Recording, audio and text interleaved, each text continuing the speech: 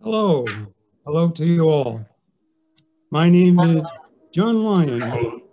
Mr. Marshall asked me to give the presentation tonight on the history of the Town Historic Center for one very good reason. You see, I'm honored to say that the original Clinton Town Hall was named after me. It was called Lyon Hall for many years because when I died in 1920, I left a bequest of $10,000 to build a town hall in Clinton because there was none at that time. I had a lawyer practice in Hempstead, Long Island, and a farm here in uh, Staatsburg. And I had some very close friends in Clinton, and I gave my bequest in their memory. Here's a photo of me in my earlier years. Before I continue, you may wonder about my wearing apparel. As any speaker will tell you when asked to present, the first question is what to wear? Well, at the many banquets and social gatherings I attended with my fellow lawyers in some of the finest hotels in New York City, this is what we would wear for special occasions. So I chose this for today's special occasion. I was sorry to see the beaver skin top hats go out of style some years after I died. They were pretty classy.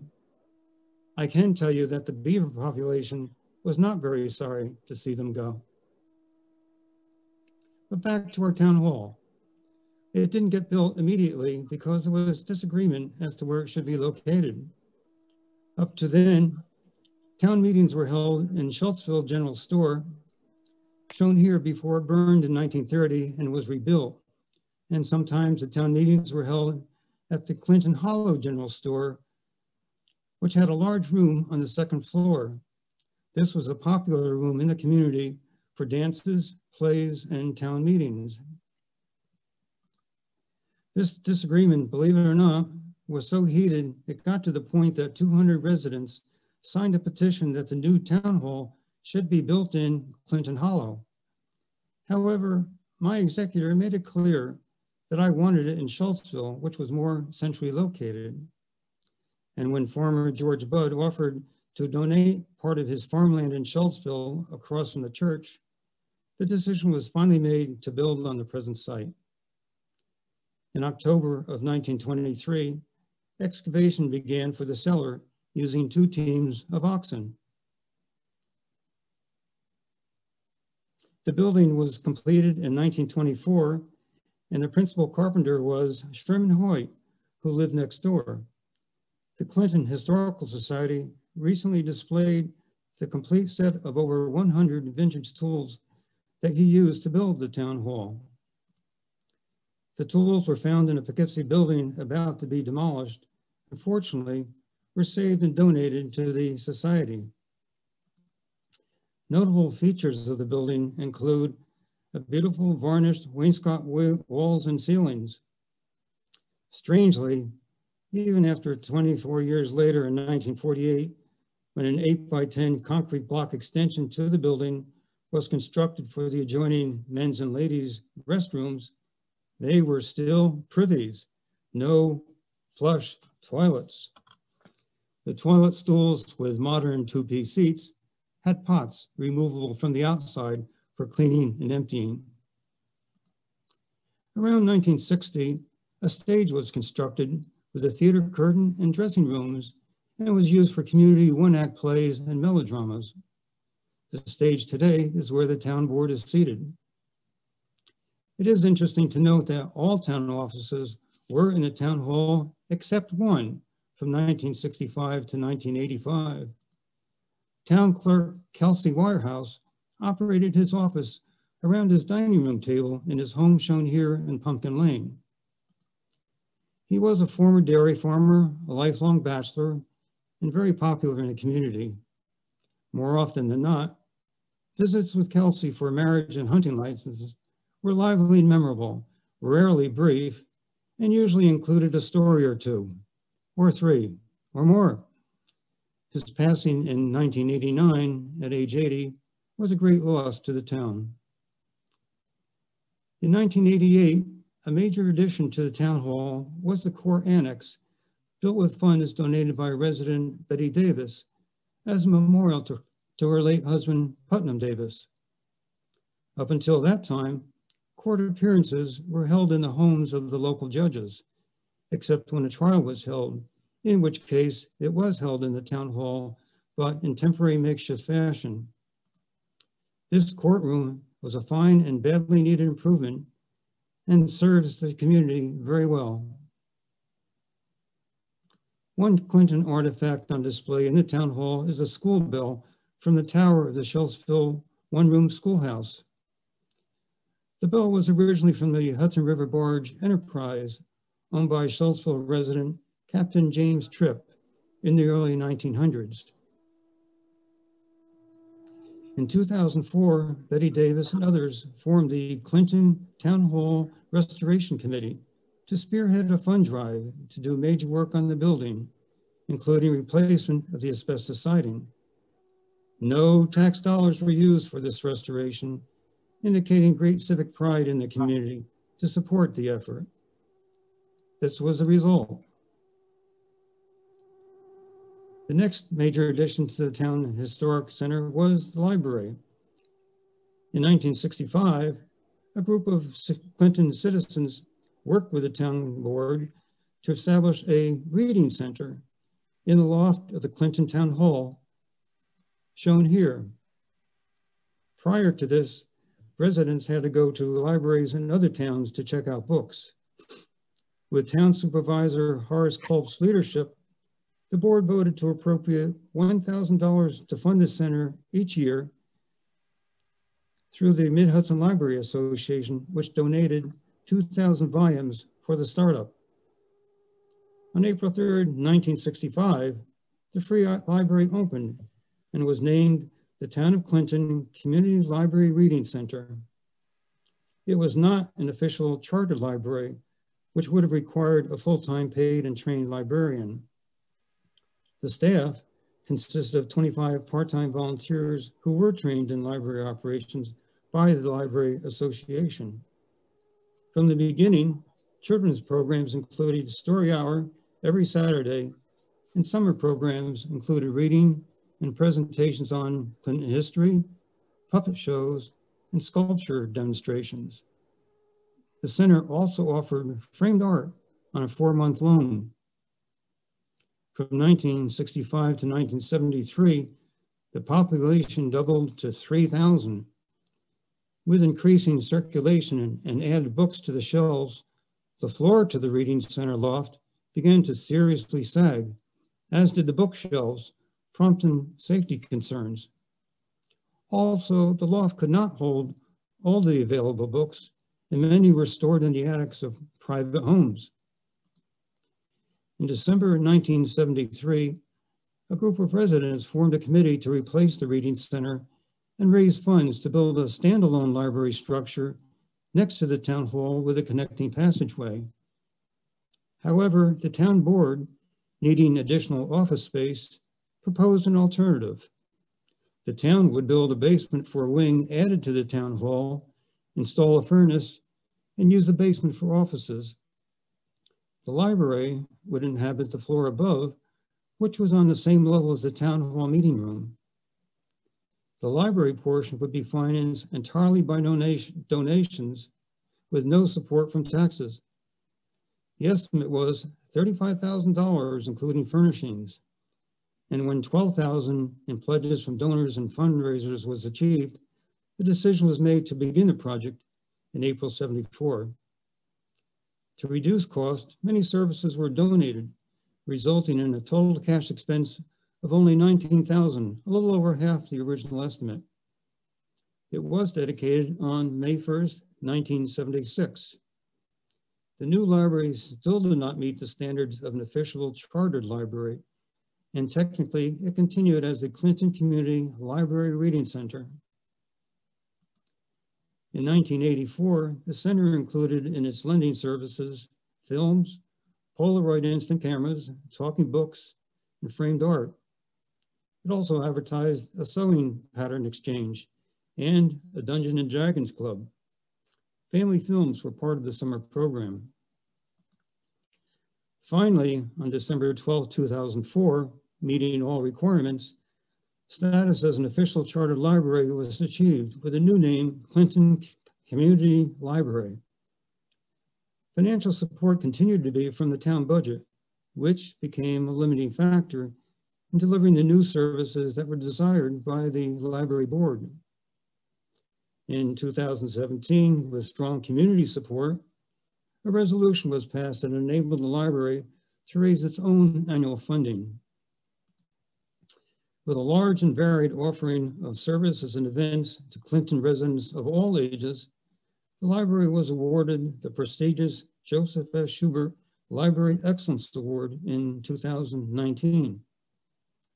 The Clinton Community Library continues to be a great asset to the town and a facility of which its presidents can justly be proud. The next addition to the Historical Center occurred in 2011. The town board recognized the need for additional space for town officials. While one very costly proposal was to build another large wing opposite the library wing, the town board, under the direction of town supervisor Jeff Burns, embarked on an ambitious plan to take two historic buildings in town, move them to the town hall site, and restore and utilize them for office and community space. The first project was the Spooky Hollow Schoolhouse, built around 1850. When the Hyde Park Central School District was formed in 1939, this school was closed and students went to Hyde Park. Charlie Clay bought the property, which was adjacent to his farm at Rusky Lane, and converted it to a mini civic center. He restored the building, added a kitchenette, a stove, a sewing machine, a phonograph, piano, ping pong table, and pool table, all of which he acquired at auctions. Nearly 1,000 books of the old school library were housed in the building for free borrowing by any adult or child.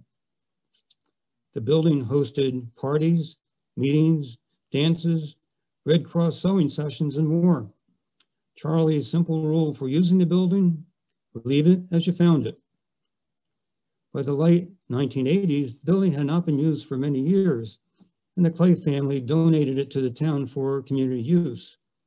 At that time, the Clinton Historical Society organized work parties to clear away the brush and cut down invasive trees in the hope that the building could be restored and utilized by the community. The result of these volunteer work parties was this. However, lacking funds, it deteriorated badly over the next 25 years of non-use, including a leaking roof. When the town board's project came, only the walls could be saved and shown here, you can see one of the walls being mounted on a new timber frame. Here's a close look as the wall is lifted into place. The basement was constructed earlier, and then the roof was added.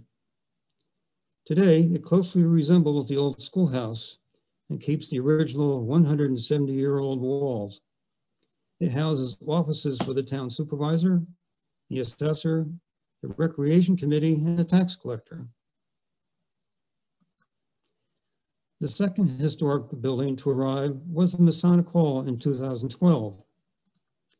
The building was built with a bequest from Schultzville resident Theodore Schultz, who died in 1862 at the young age of 23. Shown here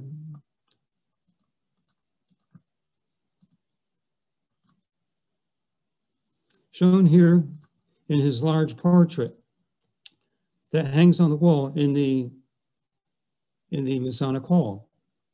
He gave $2,000 and land to build the hall in Schultzville, and which was completed in 1865.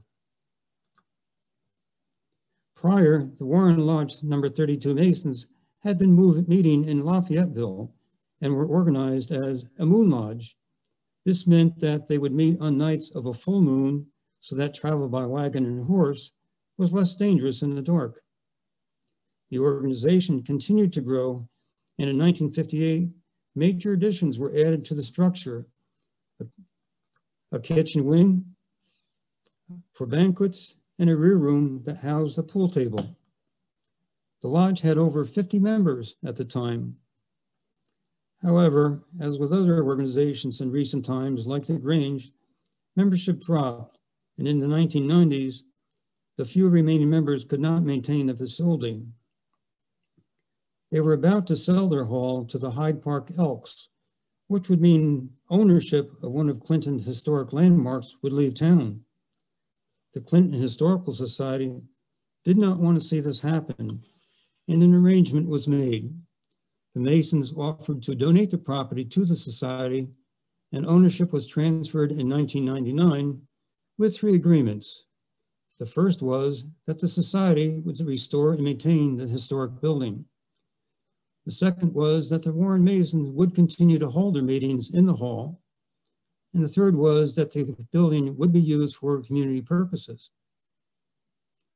The society formed a subcommittee, the Masonic Hall Preservation Group, which recruited many town residents who restored the building through volunteer work parties and held fundraisers, notably the open mic sessions, and an annual Valentine's dinner party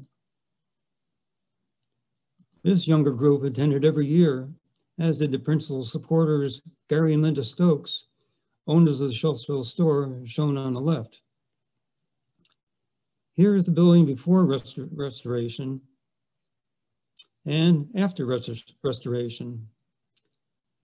However, after 13 years, the group was unable to find other civic organizations to utilize and support the building. At that point, the town board and the Historical Society reached an agreement to transfer the property to the town for a nominal purchase price and move it to the historical center location one quarter mile down the road. Now, if you're wondering how such a building gets moved, it is not by cranes and, and flatbed trailers. The first photo shows that the side and rear wings from 1958 were removed, leaving the original 1865 structure, which was raised and set on wood cribbing. Next, the building was lowered onto hydraulically self-propelled wheel assemblies at front and back, as pointed out by the blue arrows. Then it was steered onto the center road to begin the trip to the town hall site. All movement was controlled by a contractor at the rear who was operating levers that ran the wheel assemblies. This photo is interesting because it shows passing the Christian Alliance Church which was also built in 1865 from another bequest from Theodore Schultz, who gave $3,000 and the land for its construction. And here the structure has arrived at the site, driving onto the concrete floor that was previously laid. Here it is in place with the schoolhouse in the background. And here the basement walls were then built. The building was lowered onto the walls and a new rear access addition added with an elevator, completing the project as it is seen today. So the three agreements are still met. The building will remain restored. The Warren Masons still meet in the community room on the second floor, and the building continues for community use, including offices for the town clerk, the building inspector, and others. Town residents are very proud of our very unique and beautiful town historical center. Shown on the left to right are the 1865 Masonic Hall, the 1850 schoolhouse, the 1924 town hall, and the 1976 library. Town residents owe a debt of gratitude to Jeff Burns and the town board whose thoughtful vision has become a reality to benefit us and future generations. And it, is, it expresses the high interest that Clinton residents have in preserving its, its historic sites. Here's the board that can take credit. Jeff Burns, supervisor, the late Michael Apollonia, Dan Budd, Dean Michael, and Frank Venezia. As an added note, in 1955, the town erected this memorial to military veterans and located it in front of the town hall. The plaque reads, Memorial to the men and women of the town of Clinton who served the country in time of war. Clinton uh, Civic Association, Town of Clinton. Let's now go to Wings Hall. Before I passed away, Over in Clinton Corners, there was a very popular place of entertainment called Wings Dancing Pavilion, later Wings Hall. This was the brainchild of Smith Wing, who owned a home and barn across from the 1777 Quaker Meeting House. The full story is told in a chronicle by his daughter Irma Wing, who later played cornet in the Wings Hall Band. Smith told his very reluctant wife that their barn could be transformed into a dance hall and would be successful using local musicians, including their son Roy. I can just imagine his wife's reaction looking out the window at their cow barn and saying, Smith, you want to do what? But she relented and a dance hall was born. Here is his advertising poster in 1908, his second year. These early days had dances three times a week in the summer and would attract as many as 600 people, many of them summer boarders that provided extra income for many local farmers. Summer boarding was really an important local industry to help support farming. Smith's son, and Ed and his wife took in boarders, as shown in this photo of their Idlewind cottage, which still stands across from Jeannie Bean's store in Clinton Corners. It also served for several years as Harold Fountain's place of business. The hall enjoyed great success from the beginning, causing Smith to keep adding onto his barn until it measured 40 feet by 80 feet long. Young and old alike came to the dances, as you can see in this photo. Look closely where the arrow is pointing, and you'll see a long horizontal thick metal rod, rod that can, ran from one side wall to the other for structural support. There were several of these rods and were only six feet above the dance floor, so tall dancers had to be very careful not to hit their heads. Fast girls came in large groups, shown here. Smith did have his rules. No alcohol. Gentlemen could only go on the floor if they wore coat, top, collar, and tie, and a posted sign forbid dances like the tango, the turkey trot, the Texas Tommy, and the bunny hug. The Clinton Regional Good Theater, Summer Theater Group would entertain during intermission as did local talent. Here is the soda bar where nothing stronger than soda was served.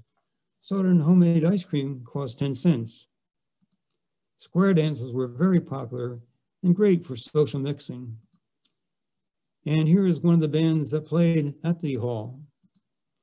Masquerades and moonlight dances were much enjoyed in those early years. Some of the favorite dance songs included by the light of the silvery moon, and in the good old summertime. Mr. Marshall received an email from a former resident who lived next door to Wings Hall and wanted to share some good memories she had about the dance hall. She wrote, I lived next door to Wings Hall in the 30s and 40s. On Saturday nights, my brothers and I would sit side by side by my bedroom window and listen to the music and sounds of the happy dancers. On Sunday morning, we went to the grassy area in front of the hall and found coins that had been dropped and soda bottles that we turned in at Roy Wing's store. We got two cents for some, five cents for others. Pretty interesting. And Jean Burkowski, and Jean Burkowski, aged 98, living in Upton Lake, recounts her memories as a young lady in the late 1930s she said, Wing's hall dances were a special treat for me if I was a good girl. Roy Wing was a master pianist. No liquor inside, but BYOB was practiced outside. The ladies' room in the second floor of an extension attached, attached to the barn, and it was a privy, no indoor plumbing.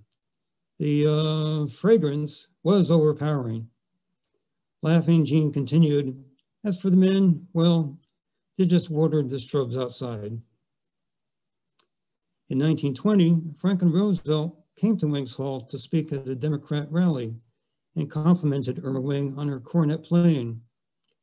The hall continued in the 1930s and 40s, and here's a World War II poster advertising a war tax. By the time the hall closed in 1950, It had been in continuous operation for 43 years. Some years later, the hall was used by the Garden Club for floral exhibits on Community Day. After standing for 100 plus years, the ravages of time took its toll, as seen in this photo revealing, revealing a wavy roof, signaling severe foundation problems. For safety reasons, the barn was demolished in 2009. One notable occurrence in past years of Wings Hall was that Jeff Burns' parents met at a dance at Wings Hall. And I'm wondering if they hadn't met, would we have a Jeff Burns today? And if not, would we have a town historic center? Food for thought. It is notable that the entire town of Clinton, in the entire town of Clinton in the 20s, 30s, and 40s, three major sites for social events like dinners, dances, and plays were within 200 feet of each other. First, there was Wings Hall, then the Grange Hall across the street at the Creek Meeting House, and the Friends Church, one door down from the from the Creek Meet from the Grain from sorry from Wings Hall. After Wings Hall closed in 1950, square dances were held across the street at the Upton Lake Grange in their Creek Meeting House. Well, that ends our story of the Town Historic Center in Wings Hall. I'd like to thank the Clinton Historical Society for use of the several of the images from their archive that you have seen today. And thank you for your kind attention. Before I go back to rest in peace, are there any questions?